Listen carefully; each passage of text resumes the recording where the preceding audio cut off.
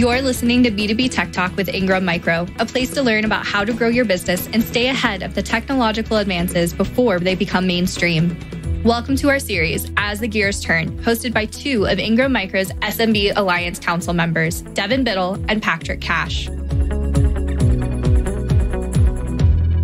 Devin, it's been what, a month and a half now since Unplugged? Since we saw each other in uh, in Buffalo, New York. That's right. Mm-hmm. And, you know, I mean, it's been almost as long since we've uh, done a podcast. I've missed you. I gotta, I gotta admit. Yes. likewise. Likewise. And we've got uh, a couple of folks that are joining us today that uh, we had the the benefit of being able to see in person for the first time in a few years and uh, enjoyed a uh, a cigar or three, depending on when you got started and when you finished.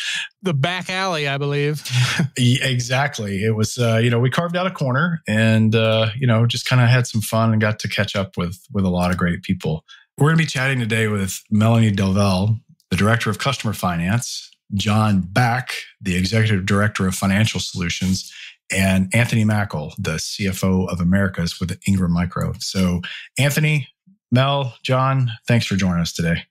Thanks for having us. Thanks for having Thank you. Let's dive in. I'm going to take your first question, Devin, because um, you know there was a pause there. I'm just we're just going to flip the script here. We had a pre-call um, a couple of weeks back, and you know one of the first things that we talked about, Anthony, was you know as partners, how can we make more money, save more money, get more money? Let's talk about some intros into Ingram Finance and, and what you guys bring to the table for us.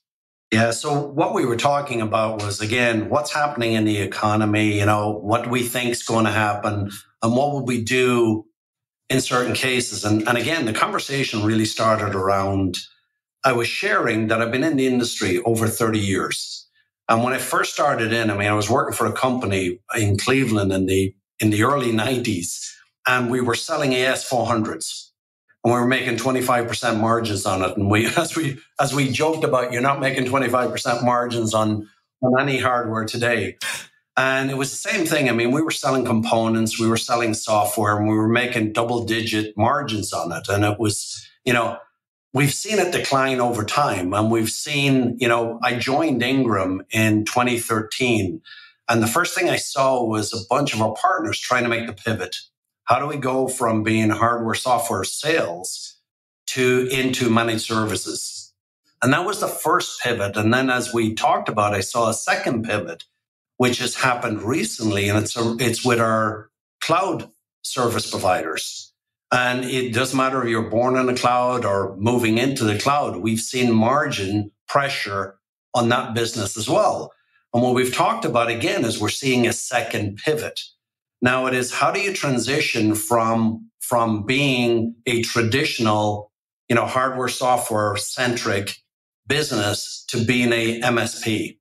And we said in that world, that's where Ingram Micro really stepped in, and we haven't seen anybody, any of our competitors, uh, up to the task where we've stepped in to facilitate and try and help that transition. And again, what we've seen is in the typical transition, there's a significant drain on cash flow. And what we talked about, I don't, I don't really care if you're, if you're trying to get into services or you're growing your business very fast. Both of these cause a cash flow constraint. And again, it's how does Ingram Micro, and I'm going to hand off to the experts in this that are on this call with me. But the point we were trying to make and the point we were discussing was, you know, what are we seeing in the industry as well? How do you move if we do see a downturn in the business? What would you do? What are the actions you would take? And we'll get into, you know, a lot more of that. But one of the discussions was, you know, particularly in in and I've been in the industry and we've seen, and I kind of compared it to a sine graph. You see a peak and then you see a trough in the business. So, what do you do to pull projects forward? And we really got an example of this when we hit COVID in early 2020. And what we saw was we saw businesses, and this is an absolute statistic, which is businesses that use financing grow 25% faster than those who don't. And we actually saw a specific example of that and tested that concept within Ingram Because in 2020, when we hit uh, the pandemic, most of our business went down double digit.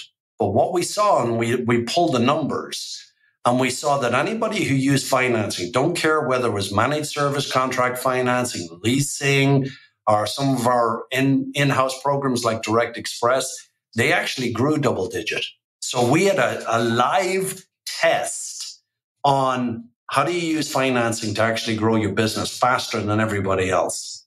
And Pat, you and I got into a, a conversation, particularly about one of our, our customers who came to us and said, I want to double my business. And we actually helped, and Melanie was part of this, uh, teach them, teach their sales team, how do you sell financing? So what we've seen is, and we can, you know, dig deeper into this. What we have seen is if you offer financing to your end customer, it's not that they always use it, but you clearly differentiate yourself from your competition because you're offering something that they are not. So it's just another reason for you to, to win business. That makes a lot of sense. So I also want to throw out there, I mean, we're in challenging times today with inflation, reduced margins, labor shortages is a big issue across the board with, I think, everybody. Can you kind of talk a little bit more to that, Anthony? Oh, no, great, great question. So, one of the things that we've been really talking a lot to our partners about is automation, AI, how do you, how do you, because again, the labor market, labor is going to increase. We know this. So what should you be focused on?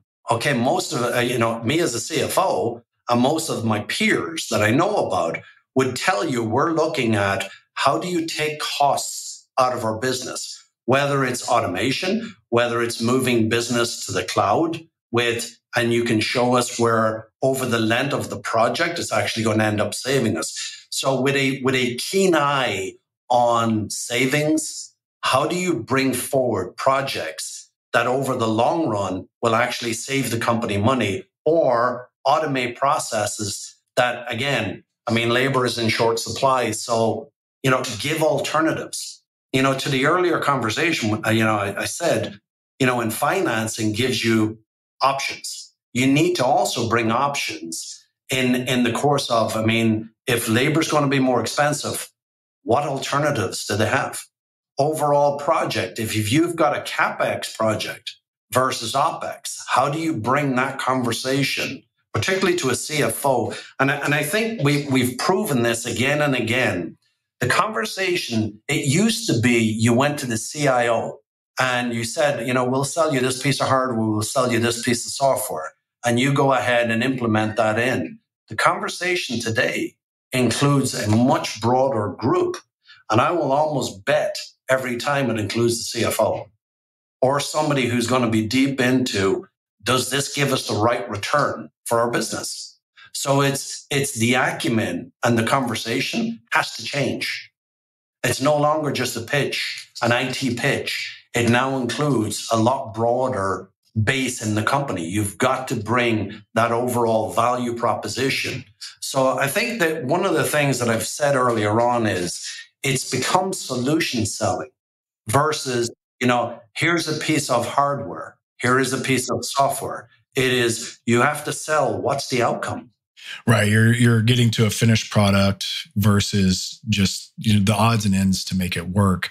And so, John, Melanie, I want to back up just a second and let's talk about some of those financing options because, you know, to Anthony's point, being able to be creative in how you're presenting, you know, how we're presenting as resellers to our customers, it's a great ad. And yeah, they may not use it. They may have their own vehicles. They may look at it and go, I'm willing to write a check for it. That's great.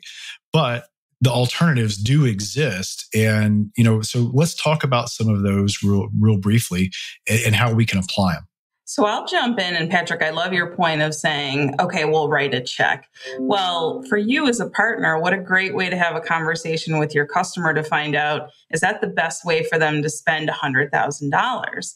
Yes, they can write a check for it to be able to pay for it today, but is that the best way they should be spending it? Or does it make more sense to be able to finance their technology? Take the $100,000, invest in a marketing person, invest in a business development person where they can then cash flow the payments where they're financing the technology. And I think that's such a misnomer in our marketplace where people say, Hey, I've got the cash. My end user is strong. They've got the cash. But I'm going to say, is that the best way to spend the cash? So that's where really you have that strategic conversation to understand what are they looking to drive in their business? And how do we create different financing offerings that can actually help them be more successful than writing a check. And Mel, I would jump in just you know around financing the deal right? We see deals all the time and, and trying to wrap the proper financing making those solutions available. We're finding ourselves more and more engaged with the cfos of companies where we're not necessarily trying to find a way to finance a deal in the final hours but how do we help the finance organizations within our partners find creative ways to finance their overall business right their balance sheet if you look at some of the traditional finance vehicles that have existed for a long, long time in our channel. I mean, as as finance organizations look at their business, you see traditional working capital lines of credit, which provide um, financing to the business to kind of run the day to day. And many of our traditional lenders focus on receivables, inventory, and that's really it.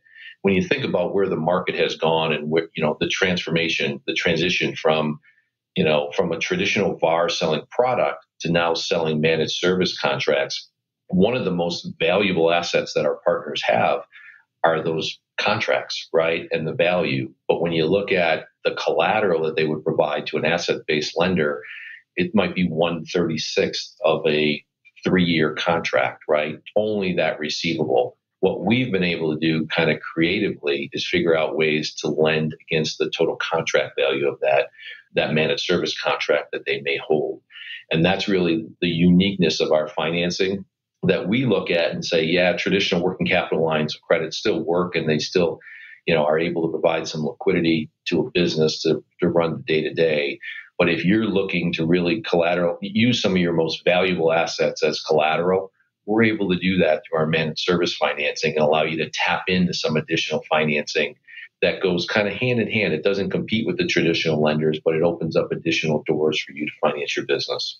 I think I think I just want to jump in for a quick second. I think also one of the critical things, at least for Ingram, and this is where we've tried to differentiate ourselves from just about everybody else, is the traditional financing companies look to finance the end user. They want that relationship with the end user. We don't. We actually look to you our partner as who we're going to finance. And we try to work aggressively to actually never show up to the end user. We don't want to be the face. That's your job. That's your customer. That's your client. We actually don't want that relationship. We prefer not to. And just about every financing program that we've put together, we keep that in mind. And that is absolutely unique. Well, and and Devin's going to ask a question about it, but I'm going to lead into it for you, Devin. Oh, thanks.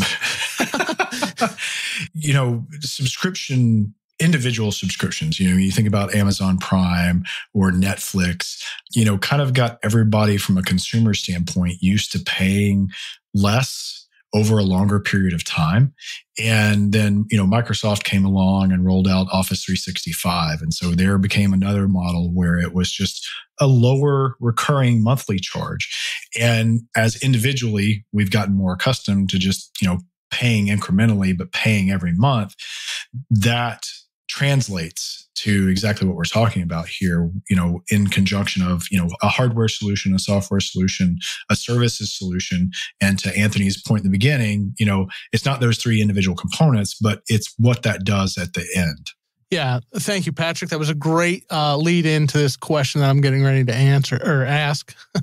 But so how do you move to an opex SaaS solutions for our businesses? So we're constantly, I mean, many of us have already moved in this direction with managed services and a lot of us are doing SaaS solutions and cloud services. But how do we do that, and how does how does Ingram financing fit into that that play? I love where all of us, for, you know, even though it's a podcast and no one can see us, I think we keep this part in because it's always fun to see everyone's eyes looking around saying, like, do you got this? Do you got this? So let me kick it off and then we can share um, a little bit of our perspectives. Everybody's so, so excited to answer that everybody's just waiting for the other person. That's what's happening here. That's it is. so you guys just hit us with the great questions. What do you expect? But, you know, I, I think to the point of the business is changing and it is transforming. So the days of writing a check are starting to disappear, and more and more clients care less about the name on a hardware. They care about the solution that it does for their business, right? And I think that's where our biggest ask is is to have all of you talk to us to understand the different financing solutions that Ingram Micro has because there's different levers that we can pull. So whether it's looking at John's team of financing the business and helping you make that pivot or my team helping you to finance some of that hardware that needs to be funded up front, we come together to Anthony's point in a very unique way to make sure you have the ability to provide those solutions to meet your end customers' needs as they look to just write a check monthly. But let me turn it over to the, the team to get the rest of their feedback. I'm going to jump in quickly, John, and then I'll hand over to you. You know, when we first started doing this type of financing, it was, we were learning as well. And I mean, we started this about five years ago where we really started to see the pivots pick up speed. Before that, it was it was individual transactions that we would finance or we would look to, to do this. And then what we found out afterwards is we could build a program, but the very next day somebody would ask for something different. So what we started to learn over time was, you know, we came up with a slogan. We said, well, first of all, I mean, within our group, we have a saying and is get to yes. And that is, how do you come up with yes? How do you figure out uh, either transaction financing, partner financing. What is it? What is it that we say is get to yes? So what we learned was you need to listen and then come up with the solution. You might have to create something that wasn't already in existence. I mean, when the pivot really started, we started to see where it depended on, on our partner. If you decreased your hardware software sales too fast, you really didn't have the financing to finance you growing as a managed service provider. However, if you focus too much on it, then you weren't growing your services business. So it was, there was not one size fits all. So what we had to start doing was basically creating on the fly is, is the way I would say this. So it's, it's a, it's a tough question to answer because every partner is unique. We need to sit down. We need to understand what you're trying to accomplish. And in other words, what, what you're facing. We've seen a lot of our partners who got into break fix and they said, okay, we're now a managed service provider. Well, the problem was that could be taken away from you very, very quickly. You needed to move more up the stack to a hybrid environment and basically get into AI and get into analytics where you were providing a bigger value to the partner or security where you couldn't be taken out and you couldn't be challenged. So it is, it's a difficult question to answer because again, it's the uniqueness of each partner, but that's what we try to adapt to. So John, sorry if I.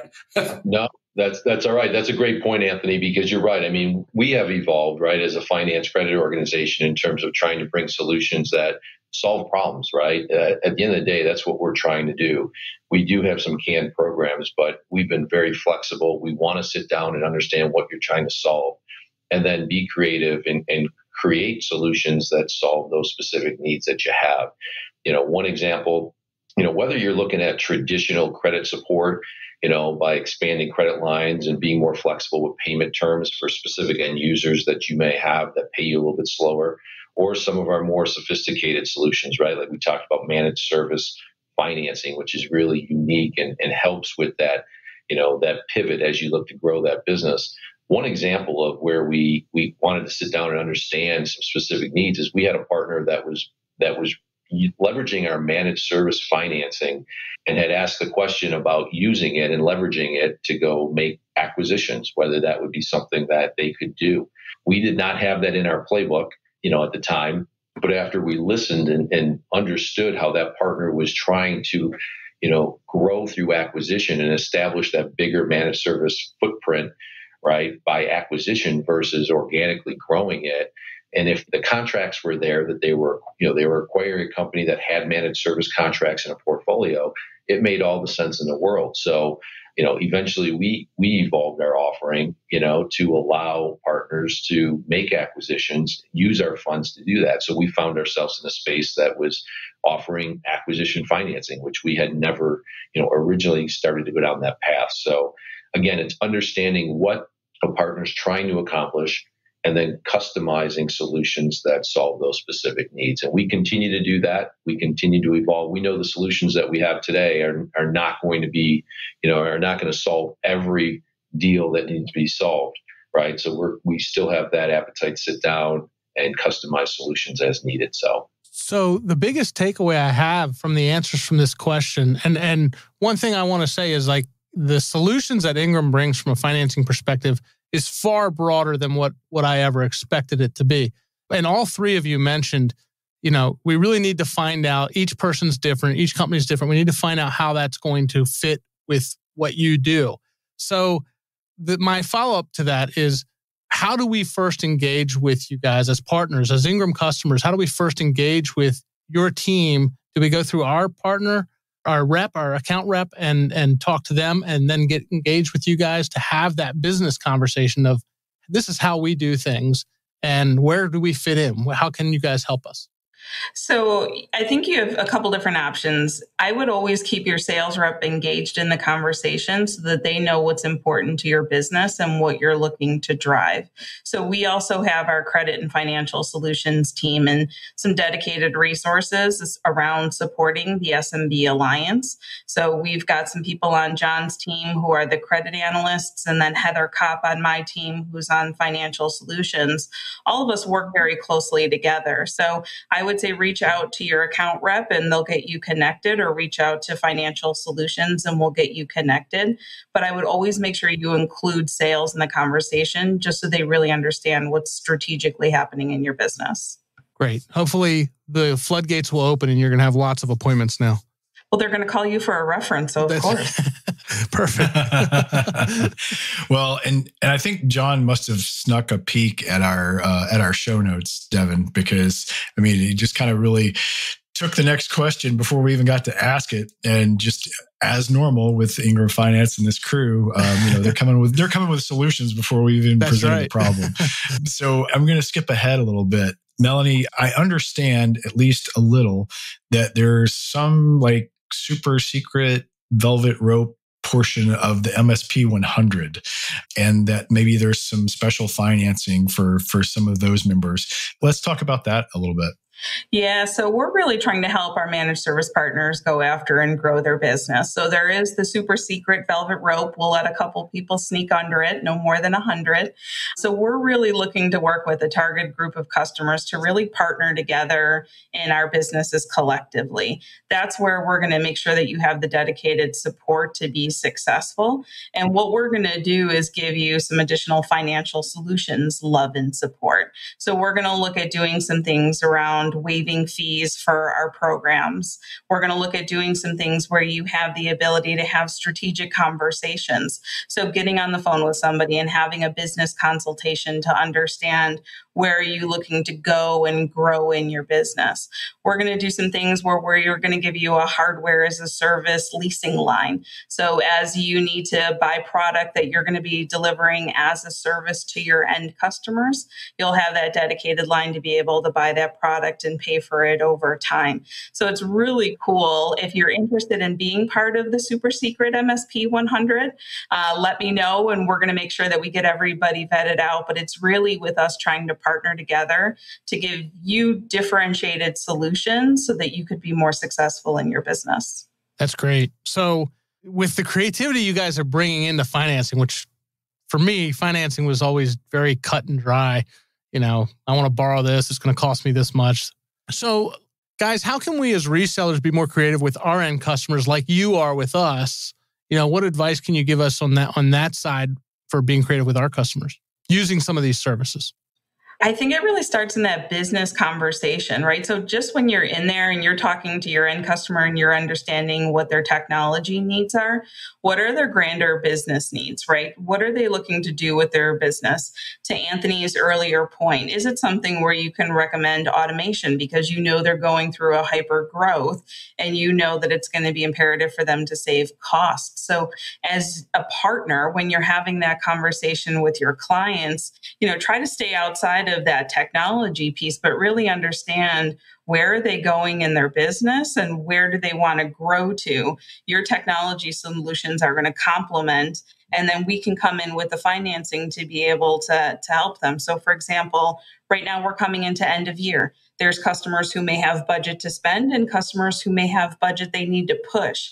If you know your customer has a critical deployment or they need to get an order in for a technology based on some of the supply chain constraints, but they're not ready to make payments until Q1 because of budget or cash flow, that's where we can come in and get creative. So, my biggest recommendation is talk to your customers and understand what their greater business objectives are so that we can marry together the technology and financing to help you be successful. Then the other thing, I mean, a great answer, but the other thing I would add to this is the last place you want to bring in financing is after you've already quoted. And I've said this repeatedly. It's, it's too late in the process to really get creative. So we had a partner who wanted to grow, and I mentioned this earlier on. We had a partner who wanted to grow 100% and came to us and said, the way I'm going to do this is through financing. So had us teach their sales team on how to sell financing. And what we typically, what we did is we gave them rate sheets for all different types of financing, but we said, back to Melanie's point, listen to what they're trying to do. And then even if there's something, if bring us in as early in the process as you possibly can. And I'll give you an example. That one customer went from a $50 million business to a $100 million business, was using financing, came to me, and we actually had uh, him present at our, our national sales event. What he said to the entire sales team of Ingram was, I go in and I offer financial solutions. Nine times out of 10, they do not use them. But I typically win over the competition because I'm offering something that they're not offering.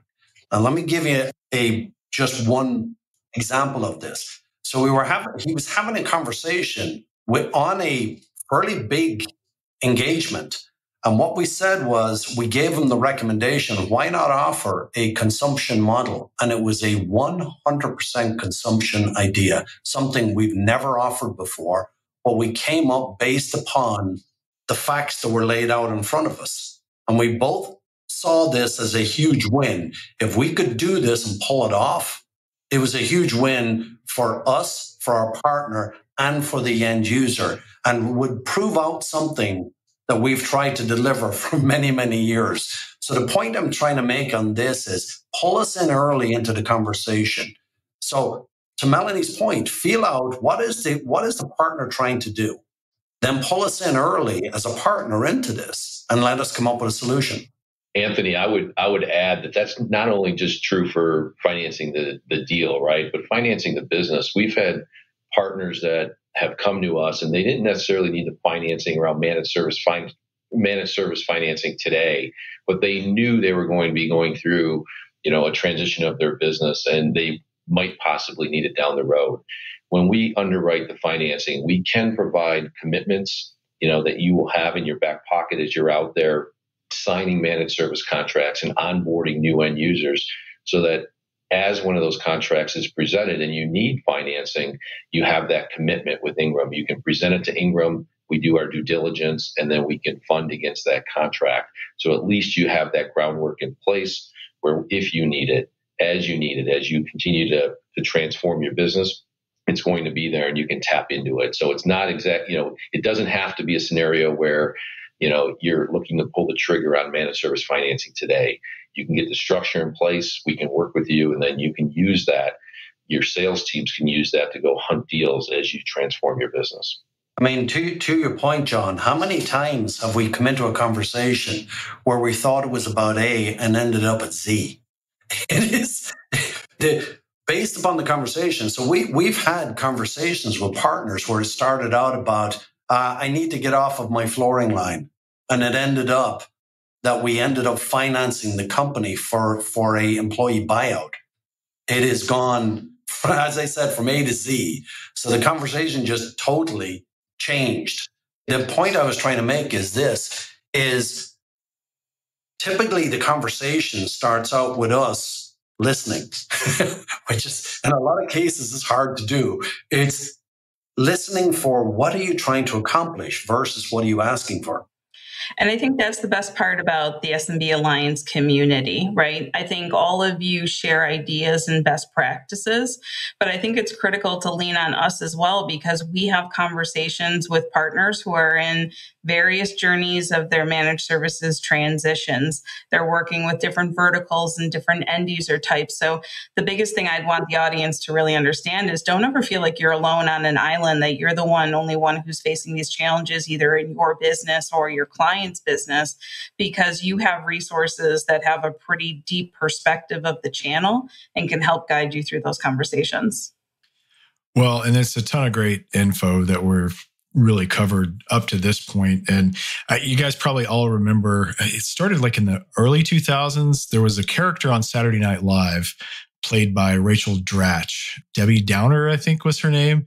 And so Devin left this one for me. And so I get to be Debbie Downer. Let's talk about the elephant in the room a little bit because everybody is a little on edge with you've got inflation, shrinkflation, supply chain, fuel, chip shortages. I, I mean, I could go on, but I won't. How is this going? You guys are looking at this and and kind of you know down the road probably a little bit more than we are. What are your anticipatory moves or thoughts around if and when things do start to slow down a bit, working with us as partners and thereby as a partner to our customer to get ahead of these things? You know, I'm gonna I'm gonna take that first stab at this. And we've had a mini example of this when COVID hit. So when COVID hit, I mean, I've been very, very transparent we were sitting there going, what is coming?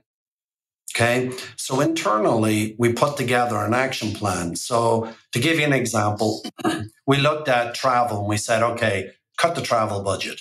You know, we looked at things like, for example, hirings. We go, okay, put a hiring freeze in place. We did not reduce headcount, but we put a hiring freeze in place.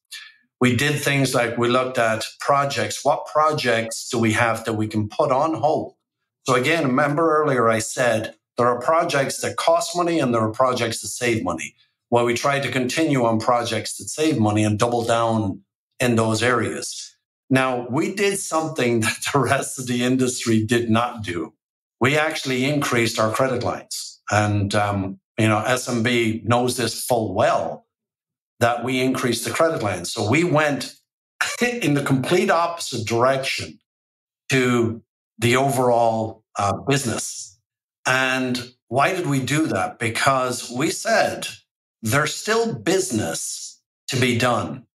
So the biggest problem that you have is, and, and the other recommendation we said is don't use your own balance sheet. And I would say this again, a cash is king. So I was asked to actually give advice to partners on what should you do for COVID when it hit. And I gave those exact examples. I said, don't use your own cash. Either use ours or use some other financing company. You need to maintain your own cash flow for the duration of this. And again, earlier on, I said this is a sine, a sine graph. We've seen waves come through. So we have a history of what do you need to do to weather it and weather the storm? And I would say to you, for, for example, for services, can you utilize the services of either Ingram or the vendor partners? Do you need to actually, you know, like for example, using a, just a very basic example, pen testing. Do you need to have your own person to go out and do this analysis, or could you utilize the resources of your disty? So it is, it is, you have within your own control a lot of these levers, and we would make recommendations on which levers to pull. But for financing is absolutely king. You've got to be able to cover your own expenses, your day to day expenses, and take care of your customer. That's number one. period. But it is look at the expenses that are, as I would call them or classify them, soft expenses. Look to, and by the way, get a plan in place now. I mean, we absolutely do that. We come up with a plan internally inside Ingram. What are we going to do that does not impact our customer base? So, sorry, Mel, John, I was just going to add, I, th- I think there's no question that we're going through some challenging times, right? Between COVID and some of the current pressures that we're facing. But this channel is built for innovation, right? And if you think about a lot of the great innovation, it's born through some of the challenges that we're facing today. So I, when I look at the MSP channel, there's a little bit of insulation because you're providing critical functions to your customer's business. But I challenge all the listeners to think about where you can be innovative based on some of these pressures. Yeah, the, the only thing I would add too is I, I think drawing some comparisons to COVID, you know, that, that stretch of time where we went through, we supported our partners. I think that should give all of our partners some reassurance that, that we're going to be there, right? We're going to be there with terms, we're going to be there with credit. One of the programs that we we heavily relied on during that stretch was our Direct Express program, so which is an end user based program. So if you're not familiar with Direct Express, I would suggest that you reach out, learn a little bit more about that program, which really allows us to supplement the credit support that we can provide you as you have big deals, you win big opportunities, especially if maybe there's some longer payment terms that are needed. So it's a great program. Many partners uh, leverage that during the COVID stretch, and you know we are bracing for some rough waters here, that would be a program that would would uh, would be an outstanding way to supplement the credit support you get from Ingram. So, okay, great. Those that's all excellent advice, and uh, I'm definitely going to get a call going with my rep and, and engage with you guys as well. May, uh, Anthony, did you have something else to add? Yeah, I was just going to add to this. So the the only thing, and I hit it earlier on is again, as a CFO, I would sit and, and going through my analysis, I'd be looking at what projects can I put on hold or postpone. Okay, again, financing, and particularly if you can come up with a capex model or a consumption model, and you can show where the outcome of that project will actually save you money over the long run versus what you have today, will absolutely pull projects forward. And again, we have services within. I mean, I'm thinking of CloudLogic, a company we recently acquired. They actually go in and do an analysis to figure out how much savings could you have moving your platform from the data center into the cloud, or, or does it actually benefit you? And I mean, can you take a look at the current spend that you have in the cloud at the moment? And are you spending too much? Are your, is your utilization actually matching what you're paying? So it is, how do you come back with projects that would actually end up saving the company or saving your client? Again, providing a solution that ends up actually saving them money will absolutely pull the project forward on you. And we saw that in spades during COVID when we started uh, financing some of these projects. Ones that were being postponed got pulled forward. Again, I gave the example earlier on. We saw partners who used financing during COVID actually increase their business double digit while the overall business declined double digit for all other partners. So proof in spades. I think that's a very telling uh, statistic. Definitely. The last question I've got for you guys, and one of my favorite, as Patrick will always remind me of. Where do you guys see technology going in the next year? And we can start with you, Melanie, if you want, and then we can go around. Yeah, I think we're going to see a lot of innovation, right? To that earlier comment of how technology is going to shift. I think there's a lot of technology today that's very hardware oriented. I think that's going to be focused more towards solution oriented. So, how do you deliver more as a service? How do you make sure you're meeting the customer's business needs as opposed to selling a widget to sell a widget? So, I think the way technology is going to continue to evolve is really maximizing the technology we have to be more innovative so that we can offer more as a service and less hardware oriented. Anthony, you want to take this too? Yes, let me jump in. So, okay. again, you've seen some press releases out of Ingram about our upcoming, what we call Xvantage and what is on the horizon for Ingram. I've been, as I said earlier on, I've been in the business 30 years. What we are delivering is game changing. And back to Melanie's point, it is solution based. So we are going from, we are transforming ourselves from a legacy technology company to a solutions company. And the investment that we're putting into this, I mean, is, is, I've never seen it in my 30 odd years in the industry. So you will see further coming out. We are already in beta testing within the US. You will start to see as we roll Xvantage out, but I would absolutely encourage you to stay, stay tuned to the news coming around this because Ingram is going to transform itself. Absolutely. So, John, the question was uh, where do you see technology going in the next year? Yeah, so technologies, I mean, obviously continue to evolve and, and all the things that we're seeing today, more around how partners are, you know, wanting to consume that technology is probably where our focus is, you know, and, you know, to Mel's point, she touched on it earlier today, is, is just, you know, finding those creative ways to finance those deals, to provide monthly payments, subscriptions, you know, more cloud-based technologies is really where we're focused trying to develop those solutions that help those partners finance their business. So, so definitely that, you know, the, the days of the traditional, you know, upfront sales, we we still see that, right? I mean, obviously that's a big part of our business, but the creative side, the cloud-based subscriptions is really where that technology is where we're trying to wrap solutions around.